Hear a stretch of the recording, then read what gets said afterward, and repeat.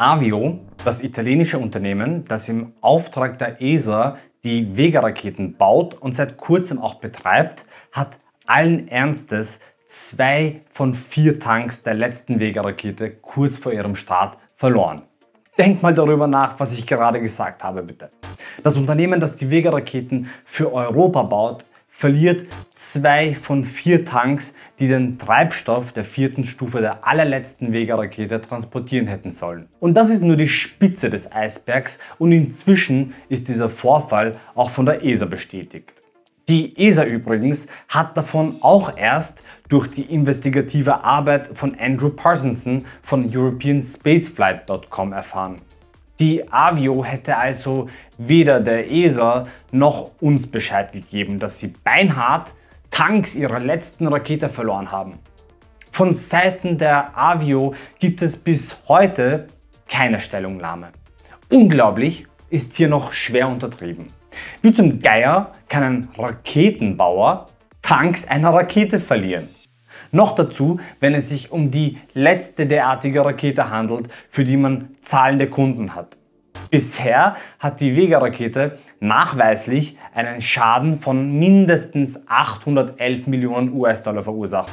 Zumindest auf der Kundenseite. Vermutlich aber weit mehr als das, denn wie du gleich sehen wirst, sind da nicht alle entstandenen Schäden erfasst worden. Das ist einfach auf so vielen Ebenen falsch, dass ich kaum weiß, wo ich beginnen soll. Hier wird dein und mein Steuergeld, aber auch die europäische Souveränität und Unabhängigkeit im Raumfahrtsektor mit Füßen getreten. Deswegen ist mir wichtig, dass ich dir das vollständige Bild hier male. Zumindest aus meiner Perspektive. Also, die Avio ist eigentlich ein respektiertes und angesehenes Unternehmen, das noch vor dem Ersten Weltkrieg in Turin gegründet wurde. Zumindest haben sie meinen Respekt bis zu diesem Vorfall genossen. Sie sind unter anderem Experten für Luft- und Raumfahrt, Rüstung, Seefahrt und einiges anderes. Das Vega-Programm, das sie im Auftrag der ESA betrieben haben oder noch immer betreiben, war in meinen Augen auch ganz respektabel. Dann hat sich plötzlich alles geändert. Anstatt besser zu werden, hat Avio das Programm gefühlt einfach fallen gelassen. Zwischen 2012 und 2019 konnte die Vega-Rakete auf eine makellose Historie von 14 von 14 erfolgreichen Starts zurückblicken. Zwei Monate nach dem letzten erfolgreichen Start bricht eine Vega-Rakete in der Nacht auf den 11. Juli 2019 zu einer Mission auf, die einen recht großen, teuren und schweren Satelliten für die Luftwaffe der Vereinigten Arabischen Emirate in einen sonnensynchronen Orbit bringen sollte. Die Mission scheiterte und löste natürlich eine Untersuchung aus. Dabei stellte sich heraus, dass das Zefiro 23 Triebwerk der zweiten Stufe der Grund für das Versagen der Rakete war. Immerhin war die Nutzlast versichert. Das führte zur Rekordsummenauszahlung von 411,21 Millionen US-Dollar. Das ist die höchste Schadenssumme, die je für einen Satelliten entstanden ist. Also, lass dir das mal auf der Zunge zergehen.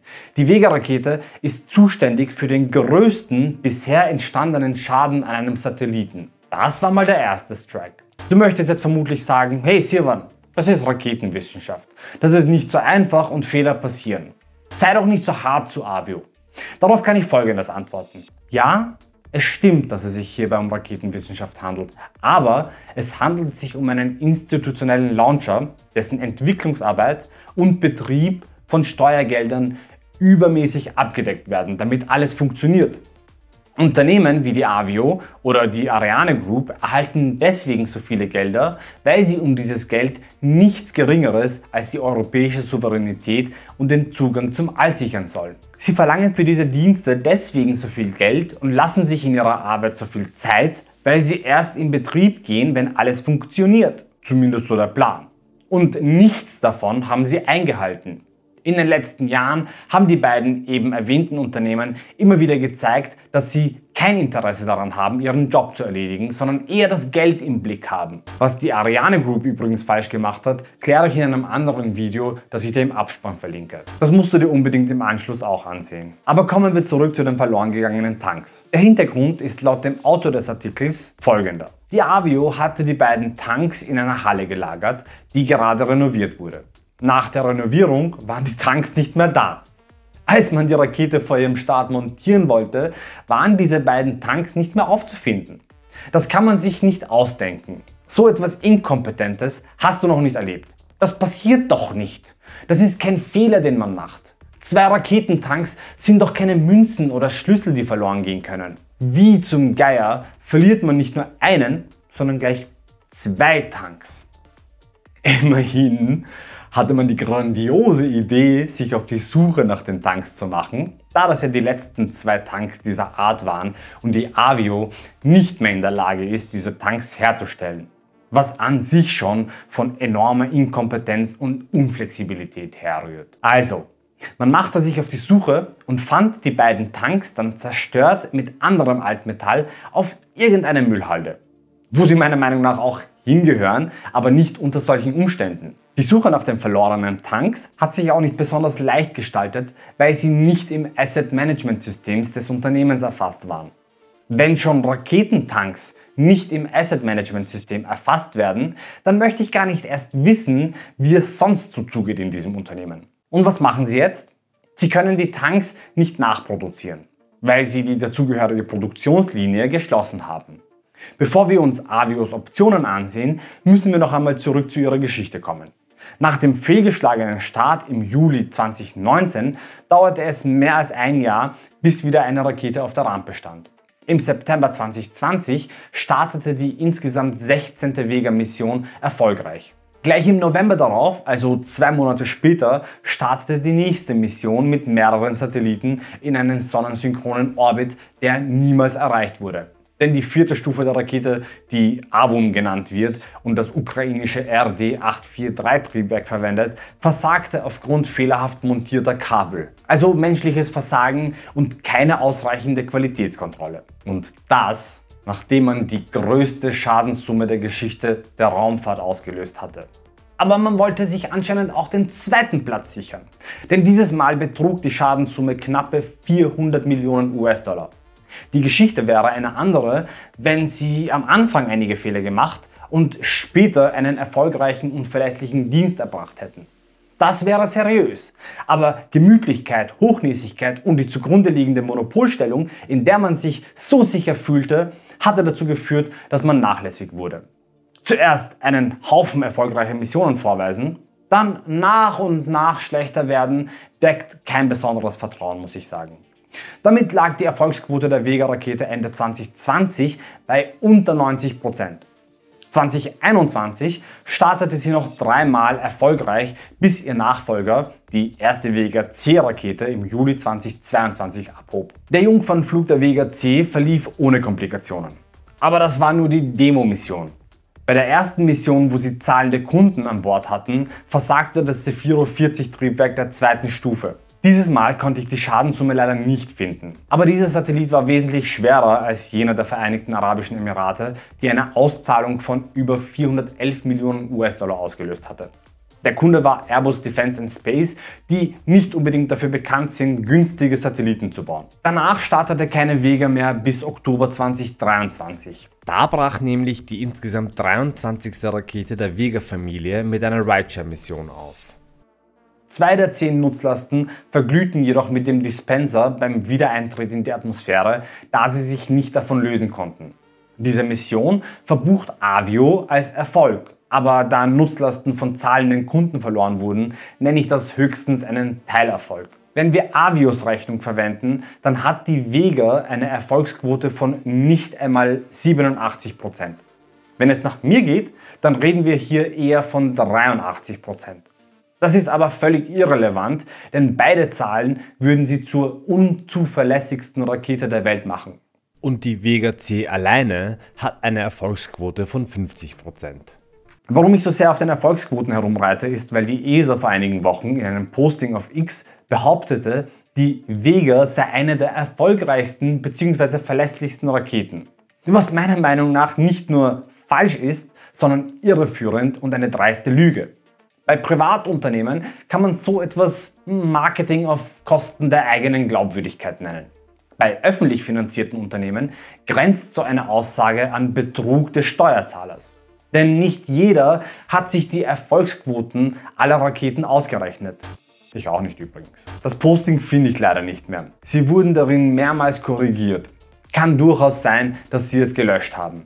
In einem anderen Posting zitiert Andrew Parsonson den Avio-CEO Giulio Ranzo, der folgendes im italienischen Fernsehen behauptet haben soll. Vega ist ein Juwel rein italienischer Technologie. Wir haben es entworfen und dann fast vollständig gebaut. Einige Teile werden von Zulieferern hergestellt, aber wir entwerfen und bauen sie. Wenn man sich aber diese Grafik ansieht, dann stellt man fest, dass die Vega eher eine europäische Rakete ist. Essentielle Teile kommen aus ganz Europa.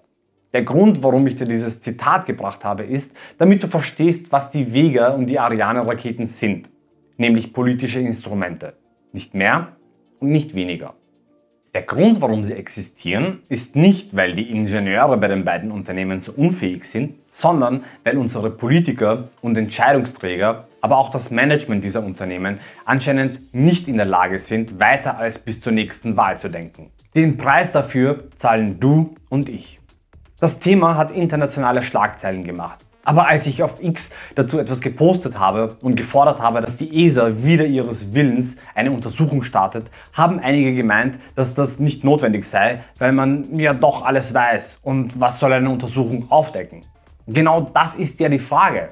Die Untersuchung soll Dinge aufdecken, die bisher im Verborgenen geblieben sind. Wenn bei Avio Raketentanks um Himmels Willen verloren gehen können, wie werden dann andere Sachen behandelt? Es geht hier um den Umgang mit Steuergeld. Und da kann man meiner Meinung nach nicht genau genug hinsehen. Alles andere ist Bagatellisierung. Da arbeiten erwachsene Menschen an Raketen. Ernsthafter geht es nicht. Und wenn hier derart grobe Fahrlässigkeit keine Untersuchung nach sich zieht, dann haben wir ein gewaltiges Problem. Welche Optionen hat Avio nun? Zusperren und sich für alle Ewigkeit in Grund und Boden schämen, wäre mein Ad-Hoc-Vorschlag. Aber Spaß beiseite. Die erste mögliche Lösung besteht darin, die vier Tanks zu verwenden, die während der Qualifikationsphase der Rakete vor dem Jungfernflug im Jahr 2012 verwendet wurden. Das Unternehmen hofft, zwei der Tanks für die Durchführung von Requalifizierungstests nutzen zu können und die anderen beiden für den Flug selbst übrig zu lassen. Allerdings birgt diese Lösung auch einige Herausforderungen. Diese Tanks stehen seit über einem Jahrzehnt herum und die Unversehrtheit mehrerer Elemente, deren Inspektion unglaublich schwierig wäre, wäre nahezu unmöglich zu garantieren. Während über diese Möglichkeit noch nachgedacht wird, ist auch ein alternativer Plan in Arbeit. Als letzten Versuch, die letzte Vega-Mission zu retten, erwägt Avio nun die Modifizierung der AVUM-Oberstufe für den Einsatz an Bord der Vega C. Diese Frankenstein-Lösung, die Elemente einer Vega C AVUM Plus Stufe nutzen würde, wurde bisher noch nie getestet. Ganz schön riskant, wenn man in Betracht zieht, dass der Kunde eine recht wertvolle Fracht befördern will.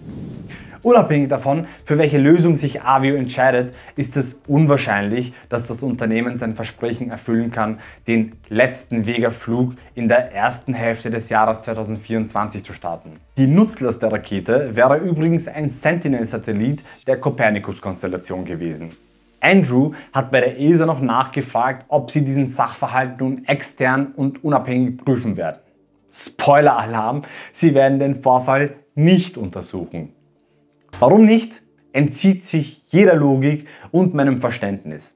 Vielleicht verstehst du es ja. Dann erkläre es mir bitte in den Kommentaren. Das ist doch eine ausgesprochene Frechheit. Seid mir bitte nicht böse, aber das ist unter aller Sau. Jemand muss dahin und nachsehen, was da genau schiefgegangen ist. Insbesondere, da die Avio den Vorfall nicht freiwillig der ESA und somit dem Steuerzahler gemeldet hat. Die ESA hat von diesen fehlenden Tanks erst durch den Bericht von Andrew erfahren. Andrew übrigens hat es von einem Mitarbeiter der Avio erfahren, mit dem er in Kontakt steht. Das Ganze hier stinkt jedenfalls zum Himmel und es wird immer klarer, dass es hier nicht mit rechten Dingen zugeht. Fahrlässigkeit, Frechheit, Dreistigkeit und dann noch alles versuchen unter den Teppich zu kehren. Was glaubst du, dass hier passiert sein könnte? Haben Bauarbeiter die Tanks unabsichtlich entsorgt? Waren es Spione, Saboteure, frustrierte Mitarbeiter oder vielleicht doch der Klabautermann? Oder gänzlich etwas anderes? Wenn ich ein Spion wäre, würde ich mir jedenfalls eine verlässlichere und innovativere Rakete suchen, die ich ausspionieren kann. Das Einzige, was mir dazu noch einfällt, ist Schande, Schande, Schande. Sorry, dass es heute nur ein einziger Wutausbruch war, aber ich bin nicht hier, um Freunde zu gewinnen, sondern um dir die Wahrheit zu präsentieren. Und die Wahrheit ist manchmal hässlich und unbequem. Ein großer Dank geht an alle Patrons und Kanalmitglieder, die Mars-Chroniken ermöglichen. Wenn auch du mich unterstützen möchtest, damit ich das hier weiterhin machen kann, dann freue ich mich, wenn du Kanalmitglied oder Patron wirst. Du kannst aber auch einen Super Thanks dalassen oder im Shop einkaufen gehen. Wie du Mars Chroniken noch unterstützen kannst, findest du in der Videobeschreibung unten. Ein Like und Abo sind jedenfalls kostenlos und helfen auch enorm. Vielen Dank. Mein Name ist Sirwan und das war Mars Chroniken. Danke fürs Einschalten. Per aspera ad astra.